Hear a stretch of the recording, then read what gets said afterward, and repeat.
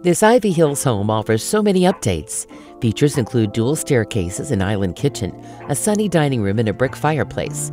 Four bedrooms include a large primary suite and another huge bedroom that could be used as its own studio apartment. Relax on the screened in porch overlooking the backyard.